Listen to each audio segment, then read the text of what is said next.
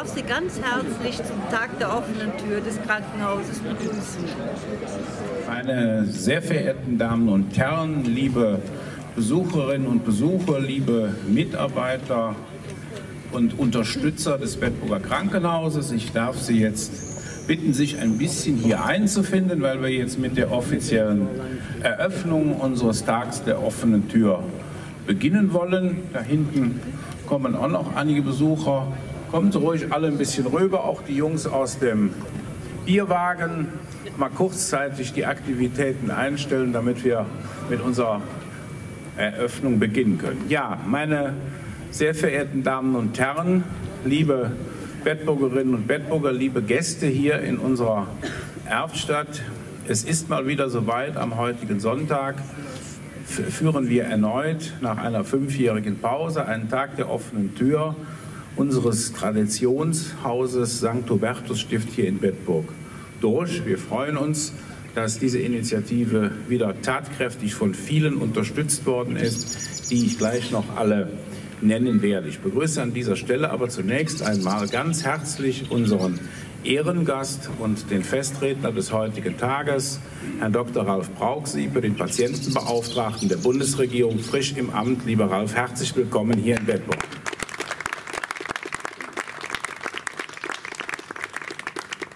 Ich begrüße weiter seitens der Stadt Bedburg den stellvertretenden Bürgermeister, lieber Hans Schnepp. Schön, dass du da bist. aus dem Kreistag, ein weiteres Kreistagsmitglied neben Hans in seinen mehrfachen Funktionen, Norbert Bleus, auch Mitglied des Vorstandes des Fördervereins. Lieber Norbert, schön, dass du da bist.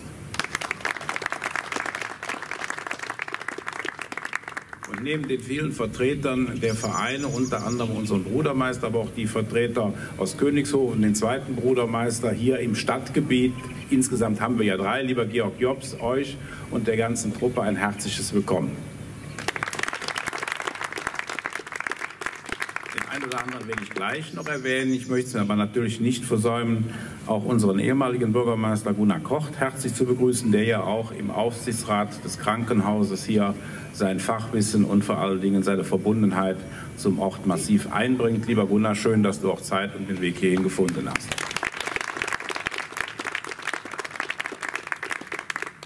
kommen wir dann zu den ganz wichtigen oder den wichtigsten Personen, nämlich der ärztlichen und pflegerischen Leitung hier des Hauses. Ich begrüße ganz herzlich Herrn Dr. Anton Rausch, ärztlicher Direktor und Chefarzt Chirurgie, Dr. Andreas Kramer, Chefarzt Innere und Dr. Böhmer, Chefarzt Anästhesie und die Pflegeleitung, Frau Leon, herzlich willkommen und natürlich der Chef des Geldes, den Geschäftsführer, den wichtigen Geist im Hintergrund, ohne den letztendlich hier kaufmännisch nichts passiert. Lieber Jakob Schall, herzlich willkommen, dass Sie auch den Weg hierhin gefunden haben. So, und jetzt will ich eigentlich gar nicht die Begrüßungsriege an dieser Stelle so sehr in die Länge ziehen. Es freut uns, dass Sie alle hierhin gefunden haben im Schatten von St. Lambertus äh, Dr. Wolters, es ist immer wieder ein beeindruckendes Bild, Kirche und das Krankenhaus in direkter Nachbarschaft zu sehen. Deshalb werden ja auch die Messen über das Informationssystem direkt auch an die Betten des Hauses übertragen. Eine ganz wichtige Schnittstelle, die uns hier auch sehr, sehr wichtig ist. Und dieses schöne Ambiente nutzen wir dann auch immer für vielfältige äh, Veranstaltungen. Genug der Vorrede. Lieber Dr. Brauchsiepe, lieber Ralf, ich darf dir gerne jetzt das Mikrofon überreichen. Vielen herzlichen Dank für den Weg hierhin.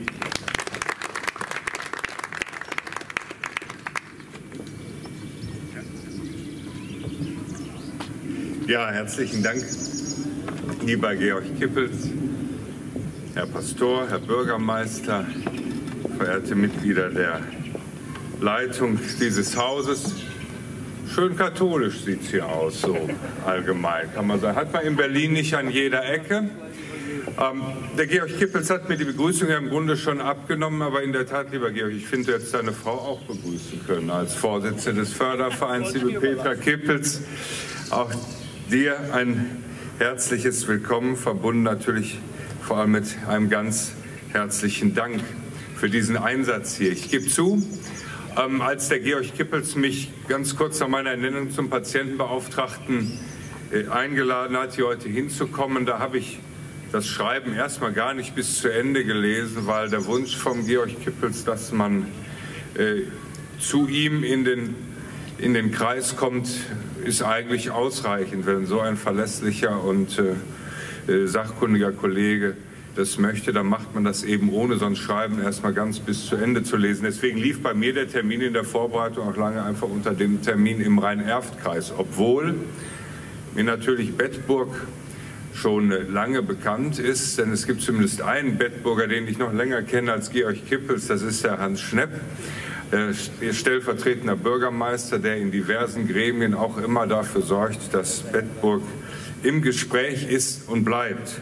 Aber ich habe dann erst äh, in der näheren Vorbereitung nochmal mir angesehen, was Georg Kippels mir geschrieben hat. Und da tauchen zwei wichtige Jahre auf, die Jahre 1862 und 2009. Und ich habe dann mal bei Ihnen selbst nachgelesen, was Sie äh, über Ihre Einrichtung selbst schreiben. Und das, da finde ich diesen schönen Satz, es begann am 20. Oktober 1862 als fromme Ordensfrauen aus der Genossenschaft der armen Dienstmägde Christi in Bettburg ihre segensreiche Tätigkeit im Klösterlein an der Johannisbrücke aufnahmen. Ein sehr schöner Satz, wie ich finde, in dem sehr viel zum Ausdruck kommt.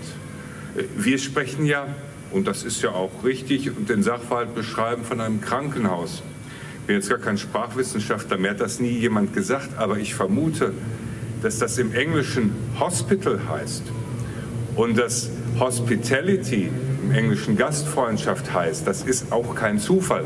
In der Schweiz und Österreich spricht man mehr vom Spital als vom Krankenhaus. Und ich glaube, diese Idee der Gastfreundschaft, der Bereitschaft, Menschen aufzunehmen, die der Aufnahme bedürfen, die wird nicht nur durch diese Worte zum Ausdruck gebracht, sondern auch durch die Entstehungsgeschichte ihres Hauses. Ich denke, das war die Motivation, Menschen gastfreundlich Aufnahme zu gewähren, die diese Aufnahme brauchen. Es ist einfach schön, dass es sowas auch ähm, mehr als 150 Jahre später noch gibt. Das geht natürlich nicht von selbst. Wer etwas bewahren will, muss auch bereit sein, Veränderungen mitzumachen. Sonst ist ein solches Versorgungsniveau, wie Sie es hier haben, nicht aufrechtzuerhalten. Und dieses Versorgungsniveau, das Ihr Haus vorzeigen kann, ist natürlich nicht ohne das Zutun, nicht ohne den täglichen und unermüdlichen Einsatz des hier tätigen Personals, der Ärzte, der Krankenschwestern und weiterer Berufsgruppen, die im Interesse der Patientinnen und Patienten unterwegs sind, zu erreichen. Und in der Tat, der Georg Kippels hat mir schon gesagt, Dein Büro hat dir das vielleicht aufgeschrieben. Natürlich haben die mir das aufgeschrieben, welche hervorragenden Ergebnisse Ihnen hier immer wieder bescheinigt worden sind. Also sei auch noch mal gesagt, das St. Hubertus Stift Bettburg zählt laut unabhängiger Prüfung zu den 20 Prozent der Kliniken mit überdurchschnittlich guten Ergebnissen, die die AOK Rheinland-Hamburg als beste Anlaufstelle für Gallenblasenentfernung sowie für Hüft- und Knieendoprothetische Eingriffe benannt hat. Und darauf können Sie hier alle zu Recht stolz sein. Sie stellen die medizinisch notwendige Behandlung sicher und sind kompetente Ansprechpartnerinnen und Ansprechpartner für die Patientinnen und Patienten und deren Angehörige.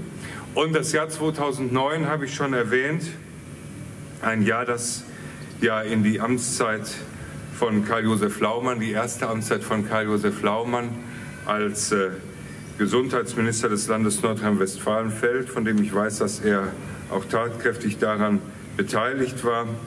Äh, ich schätze es sehr, dass die Zukunft Ihres Hauses durch den Abschluss eines Verbundes mit dem St. Katharinen Hospital Frechen gesichert werden konnte. Und ich denke, dass die Menschen hier das hohe Potenzial an Fachkenntnis und den persönlichen Einsatz jeder einzelnen Mitarbeiterin, jedes einzelnen Mitarbeiters auch weiter mit Treue hier zum Standort Bettburg honorieren wird. Und diese im Jahr 2009 getroffene oder vollzogene Entscheidung bedeutet eben sehr viel für die Sicherstellung der Versorgung im ländlichen Raum. Ein Thema, das mir als Patientenbeauftragter auch sehr wichtig ist.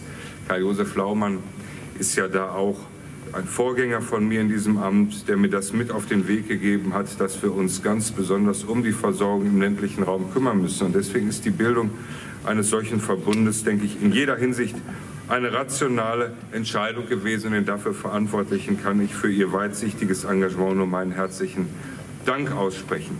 Ich denke, Sie schlagen auch mit dem heutigen Tag den richtigen Weg ein, indem Sie die Türen des St. Hubertus Stift Krankenhauses für alle Interessenten öffnen und damit die Kommunikation mit den Bürgerinnen und Bürgern suchen. Und dir, liebe Petra Kippels, als Initiatorin, als Vorsitzende des Fördervereins möchte ich dafür meinen ganz herzlichen Dank und Respekt aussprechen für euer engagiertes ehrenamtliches Handeln, ohne das ja auch dieser Tag nicht möglich wäre. Ganz herzlichen Dank dafür.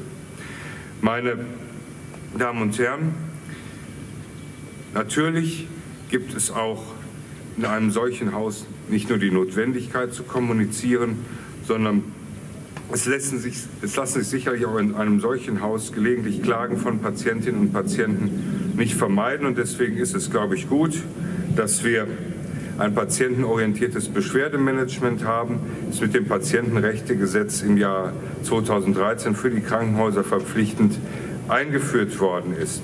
Wir haben ein Beschwerdemanagement, wir haben Patientenfürsprecher und ich freue mich deswegen, es war einer der ersten Termine, der mir mitgeteilt worden ist, die ganz wichtig sind für den Patientenbeauftragten, dass ich am 21. Dezember, äh, September alle Patientenfürsprecher, Beschwerdebeauftragte und mit ähnlichen Aufgaben in Krankenhäusern betraute Personen am diesjährigen Berliner Tag der Patientenfürsprecher begrüßen kann. Ich freue mich jetzt schon auf den Austausch, den wir dort auch pflegen werden.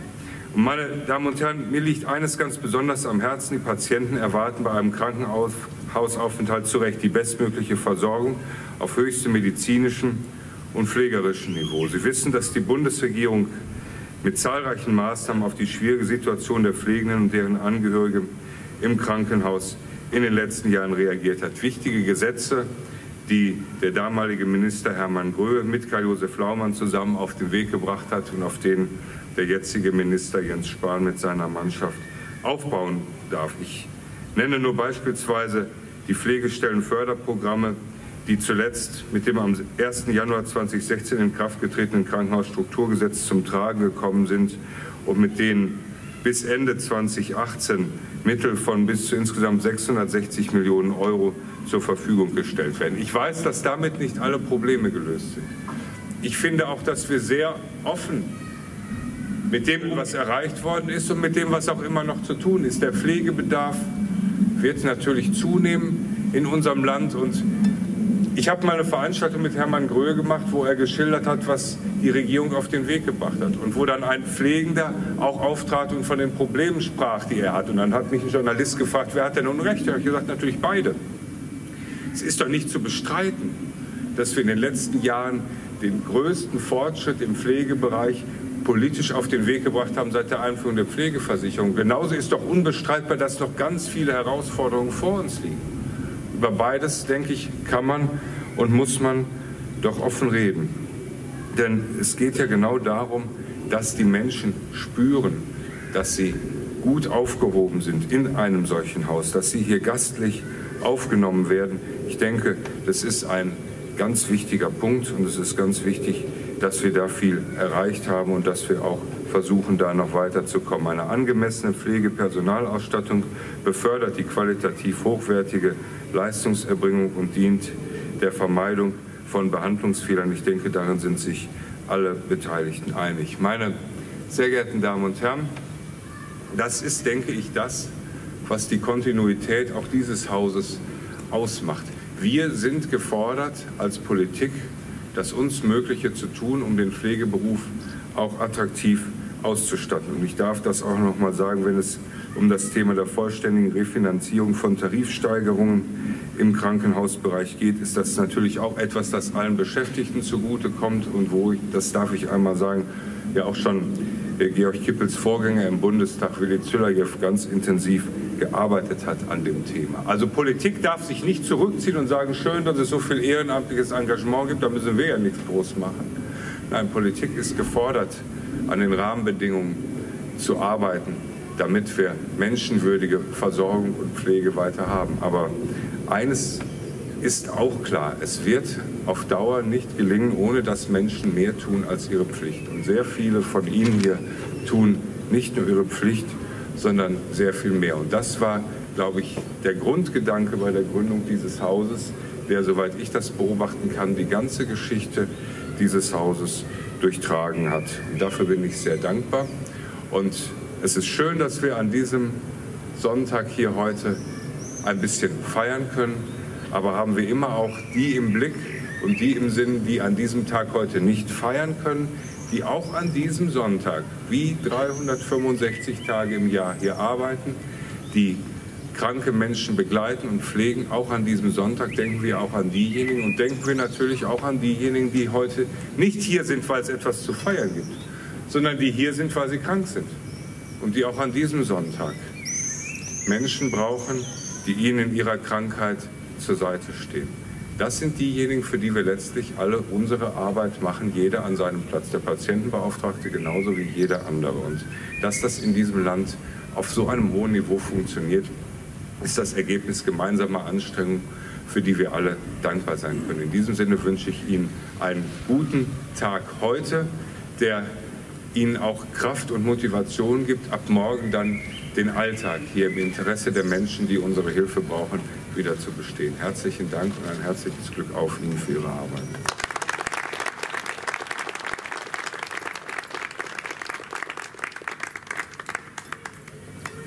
Sehr geehrter Herr Dr. Brauchsiebe, lieber Ralf, vielen herzlichen Dank. Zunächst einmal für die freundlichen Worte, aber natürlich auch für die Einblicke in die schwierige Diskussion, die tagtäglich in Berlin, in Düsseldorf, aber natürlich auch vor Ort in den Häusern geführt wird. Und die Überleitung darf ich vielleicht zum Anlass nehmen, noch zwei weitere Begrüßungen vorzunehmen. Auf der einen Seite unseren Stadtverbandsvorsitzenden und Fraktionsvorsitzenden der CDU im Rat der Stadt Bedburg, Andreas Becker. Lieber Andreas, an der Seite deiner lieben Gattin Heike, herzlich willkommen. Und unser langjähriges CDU-Mitglied Hans Weber. Lieber Hans, auch du bist im Besonderen und mit deiner lieben Frau immer dem Krankenhaus ein treuer Unterstützer gewesen. Vielen herzlichen Dank. Und ich glaube, das ist auch ein Applaus wert. Ich glaube, wir haben es ja eben gehört, nach der allgemeinen Philosophie ist groß gut, groß muss aber nicht besser sein, klein kann gut und besser sein und vor allen Dingen ist klein immer sehr einfallsreich und kreativ. Und ich glaube, das haben wir hier in den vergangenen Jahren und Jahrzehnten immer sehr intensiv praktiziert. Und deshalb begrüße ich besonders gerne auch einen Kooperationspartner des Krankenhauses, Dr. Bitschnau, der hier in seiner Praxis äh, praktiziert, aber im ständigen Austausch und in Zusammenarbeit mit dem Krankenhaus Bedburg fachlich weitere Beiträge leistet. Das ist das, was uns hier vor Ort auszeichnet, die Verbindung der einzelnen Disziplinen untereinander und die kreative Zusammenarbeit, um den Bürgerinnen und Bürgern hier vor Ort die bestmögliche Versorgung zu geben. Jetzt kommen wir zum weiteren Begrüßungswort. Der stellvertretende Bürgermeister der Stadt Bedburg, lieber Hans Schnepp, ein Bedburger Urgestein, auch wenn du nicht in Bedburg geboren bist ähm, und es mit dem Rheinischen gelegentlich noch etwas hapert.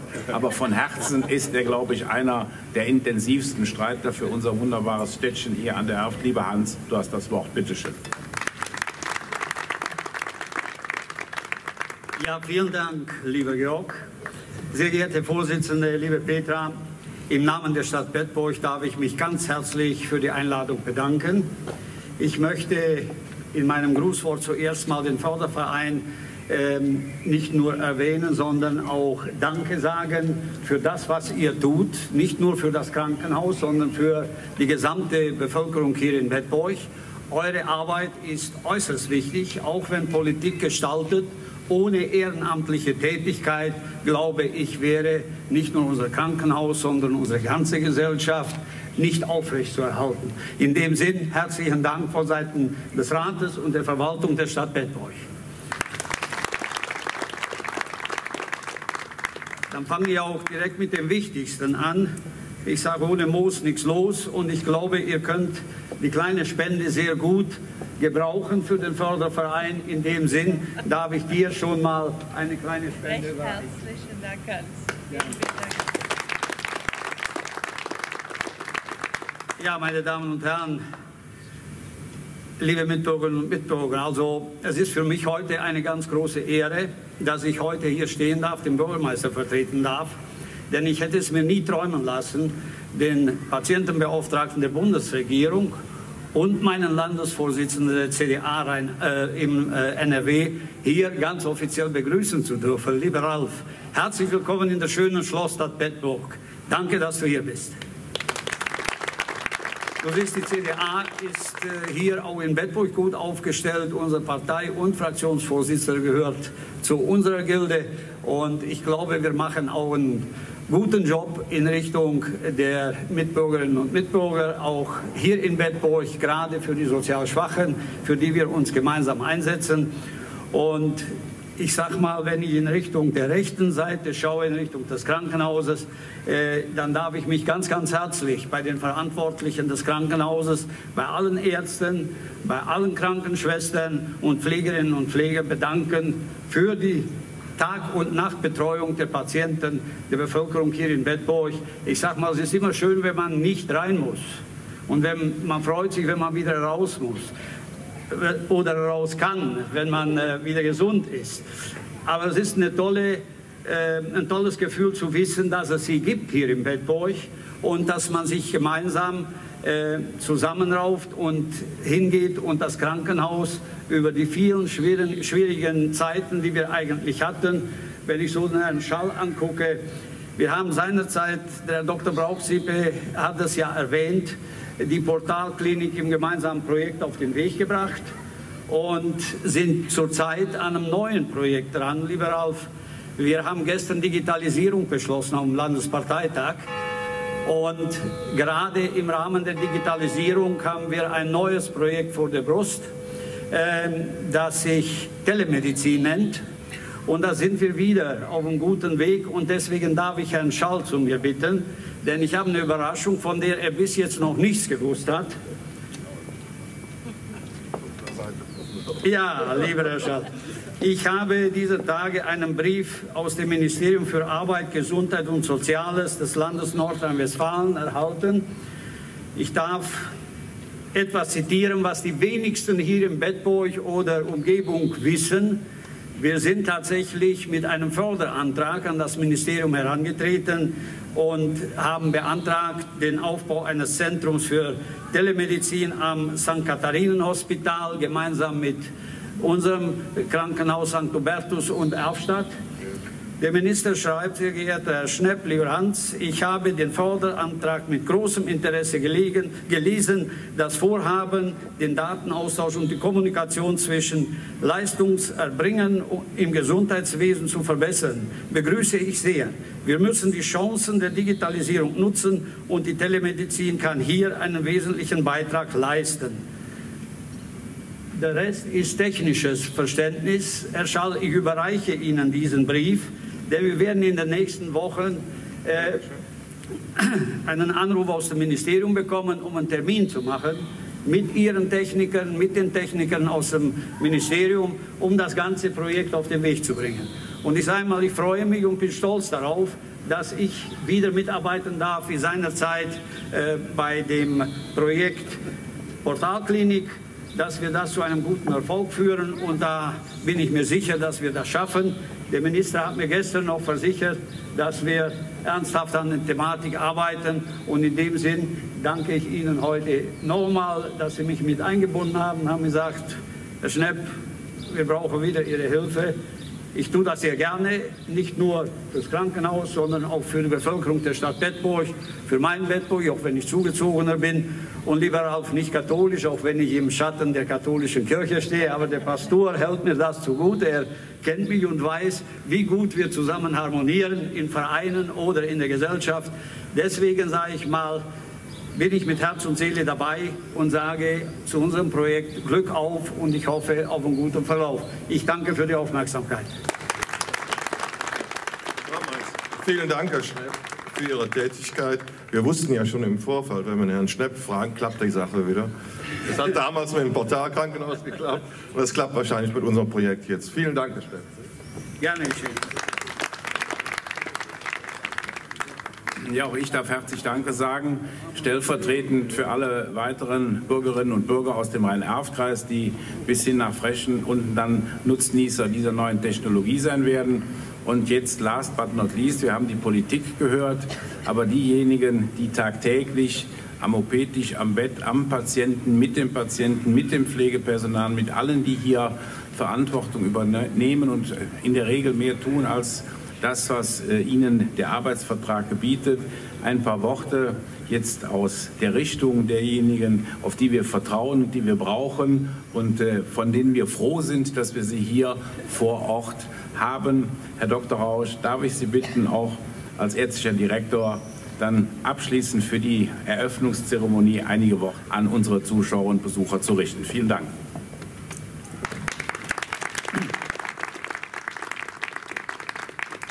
Ja, guten Morgen und herzlich willkommen, liebe Gäste, liebe ehemalige und zukünftige Patienten. Denn äh, alle anderen sind ja schon begrüßt und erwähnt worden, das will ich mich nicht wiederholen. Ein kleines Krankenhaus lebt von der Akzeptanz und der Unterstützung einer Stadt und der Umgebung. Und Unterstützung ist eigentlich auch das Stichwort. Ähm, das ist ja auch nicht so ein abstraktes Wort eigentlich, denn es handelt immer von Personen, äh, die dahinter stehen. Einmal muss ich jetzt erwähnen, Herr Brauxi, äh, habe ich das Gefühl, da gibt es auch eine Unterstützung und eine Hilfe. Und äh, wenn ich die Politik höre, sind da auch Dinge erkannt worden. Ähm, und was mich berührt hat oder was mich äh, bestätigt eigentlich, dass Herr Brauxig als Patientenfürsprecher äh, sagt, Gastfreundschaft zeichnet ein Haus oder sollte ein Haus besonders auszeichnen. Also mich hat vor Jahren schon extrem gestört, als die Debatte aufkam und die Formulierung, wir haben es mit Kunden zu tun. Also dagegen habe ich mich persönlich immer verwahrt und ich hoffe, dass hier in diesem Haus dieses Gefühl des Kunden nie aufgetreten ist. Ähm, ich möchte mich schon bei Herrn Schnepp bedanken, der uns, wie gesagt, schon zweimal entscheidend geholfen hat, auch und sonst im Hintergrund ich das Gefühl habe, immer die Hand über uns hält. Ähm, dann äh, das Ehrenamt bedeutet ja oder zeigt, dass es da viele engagierte Leute gibt, wie zum Beispiel äh, Frau Kippels und Herr Fassbender, die immerhin fast mehr als 25 Jahre im Aufsichtsrat des Krankenhauses sind und immer eigentlich sehr für die Belange der Stadt und die Bürger und auch die Mitarbeiter eingetreten sind. Auch dafür vielen Dank und auch, dass Sie das heute organisiert haben, Frau Kippels. Dankeschön.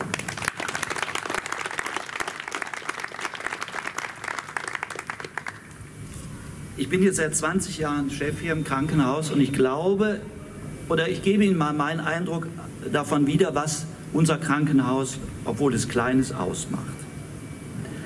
Einmal, da komme ich wieder auf die Gastfreundschaft zu sprechen, ist es sicherlich sehr familiär und sehr fürsorglich und das versuchen wir auch zu leben. Und dabei hat auch einen ganz entscheidenden Anteil das engagierte Pflegepersonal, was zum Teil auch noch länger als ich hier bin und das auch immer engagiert und mit viel Enthusiasmus seine Arbeit macht.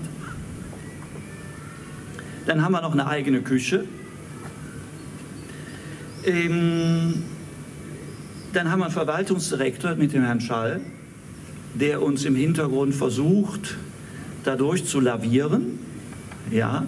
Und was ich ihm zugute halten muss, dass er nicht wie ein privatwirtschaftliches Unternehmen ähm, darauf drängt, dass der Profit nun alles ist, sondern da auch mal fünf Grade sein lässt. Wir haben eine eigene Röntgenabteilung noch, die gut ausgestattet ist, die ein ganz modernes CT hat. Wir haben noch ein eigenes Labor, was einem eine schnelle Diagnostik ermöglicht.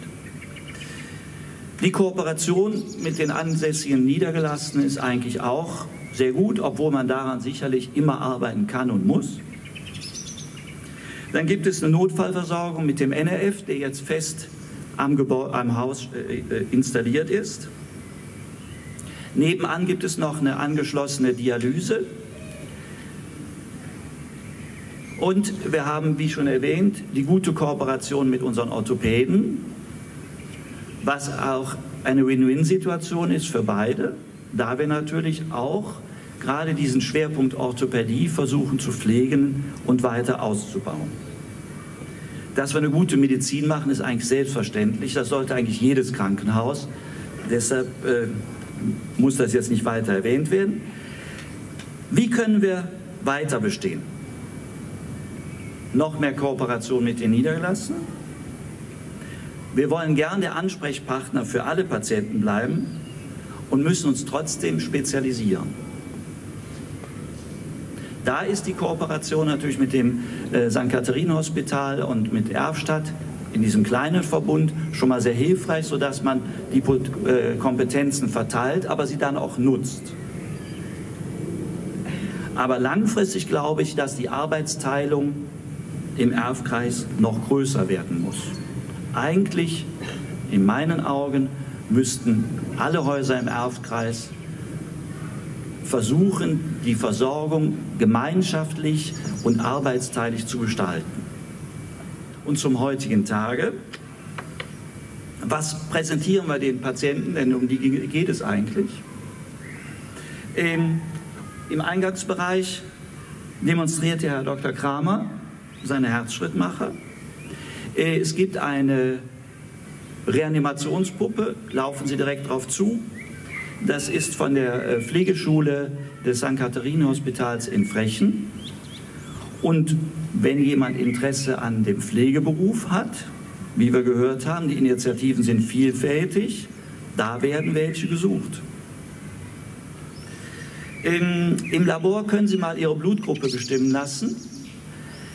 Wir können leider nicht äh, Ihnen offiziellen Ausweis ausstellen, denn wie Sie wissen, ist Blut ein sehr, äh, sehr heikles Thema. Das muss sehr sorgfältig geprüft werden. Aber dass Sie selber für sich wissen, so geht es und das ist meine Blutgruppe, ist vielleicht ein kleiner Hinweis.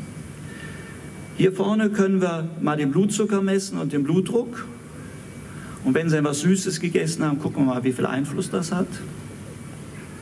In der Krankengymnastik äh, wollten wir zweimalig heute zumindest so eine Rückenschule anbieten. Die Uhrzeit können wir noch vereinbaren. Ich glaube, um zwölf der erste Kurs. Gut. In den Operationsbereich sind Sie her herzlich eingeladen.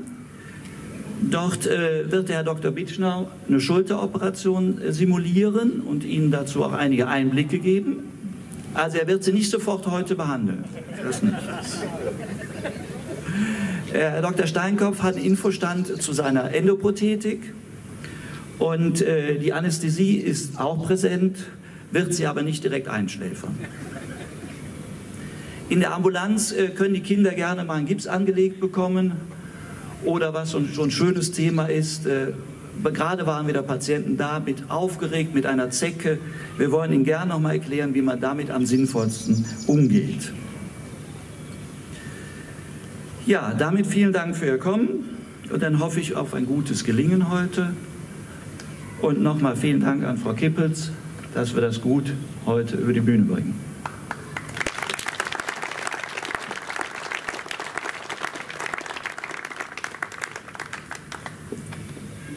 Herr Dr. Rausch, vielen herzlichen Dank. Und ich glaube, jetzt sind äh, der Worte, die Worte der Eröffnung genug gesprochen worden. Jetzt wollen wir langsam in das Gesellige und Informative übergehen.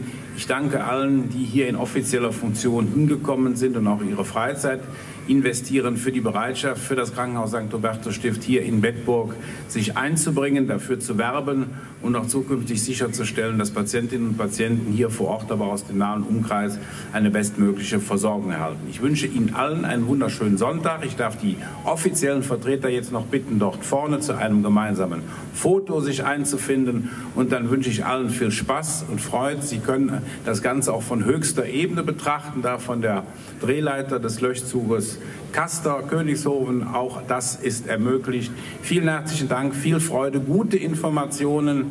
Tun Sie Gutes, sprechen Sie darüber, werben, werben Sie dafür. Herr Pastor, noch den kirchlichen Segen für den Sonntag wäre ja eigentlich nicht schlecht.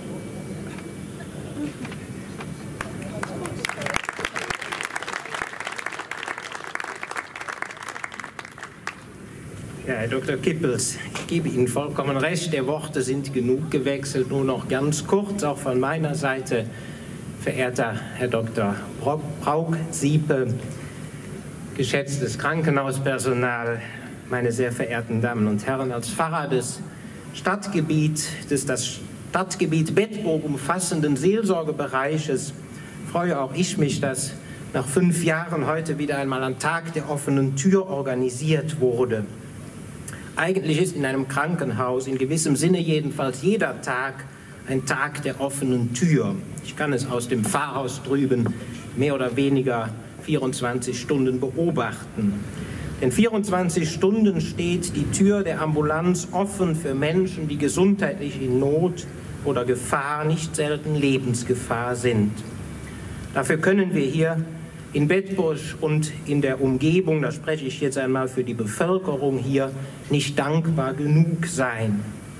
Von so kurzen Entfernungen und schnellen Wegen zu ärztlicher Hilfe, erst vor wenigen Wochen wurde ja auch in Kirchherten die Rettungswache eröffnet und eingesegnet, können, wie eben in ihrer Ansprache schon anklang, in Deutschland und erst recht in anderen Ländern die meisten Menschen nur träumen.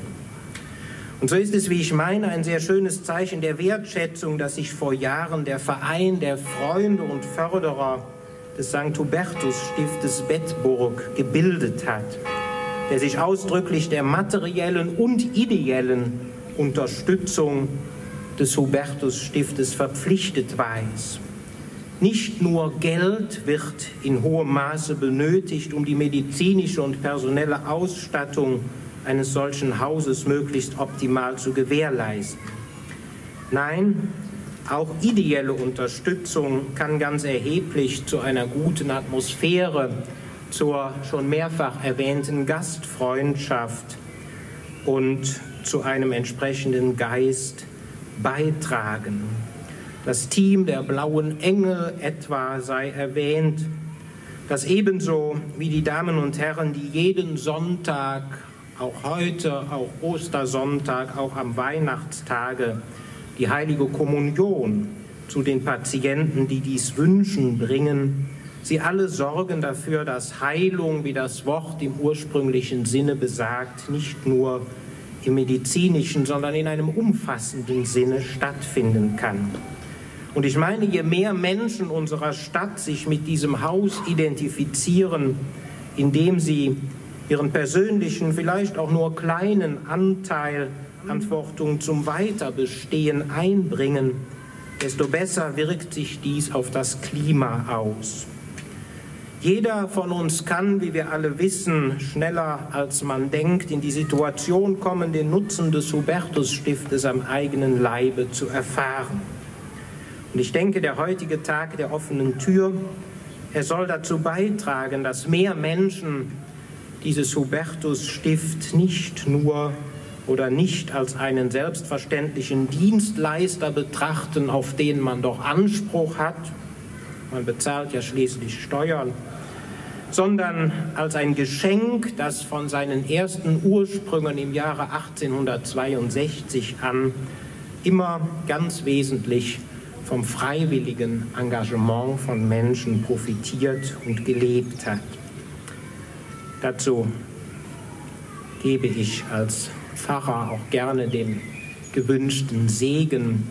So segne und begleite Sie, euch, und die wichtigsten unserer Patienten alle, der allmächtige und dreieine Gott, der Vater, der Sohn und der Heilige Geist. Dankeschön.